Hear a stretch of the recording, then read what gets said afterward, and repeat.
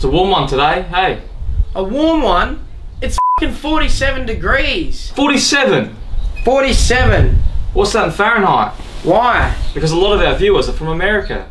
Well, that's 116.6 degrees Fahrenheit then. That's disgusting. It's literally dangerous to be outside. Ah! Everyone says Australia is so good, but they always forget about the one week a year when it literally turns into a fing oven. We need to do something about it. You mean protests against global warming? No, not a long-term solution. I say we split off and try and come up with some ideas on how to beat the heat. Alright, Lachlan, what you got? This one's called Face Fridge. It's an old favourite. You simply open the fridge and put your face in it. Wow, let me try. And I even invented an extreme version. It's called Face Freezer. No. Yeah, look! That is insane. This one's called Splash Time. Yeah, What you do is you, you set an alarm for every five minutes, and then you just do whatever, yeah. and then your alarm goes off, and it's splash time. That's splash time.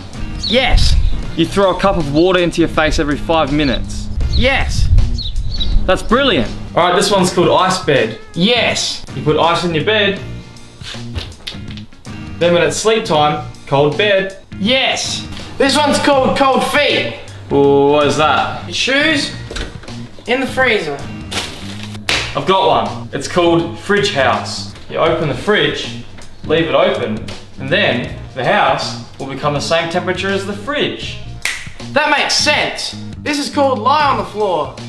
Oh, what are you? Thought it, I thought it was going to be something like that. All right, I got one last one. Let's do it. You ready? I'm ready. Are you ready? I'm ready.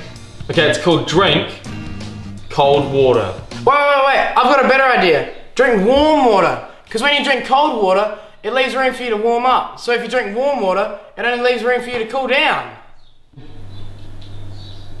I cannot argue with that.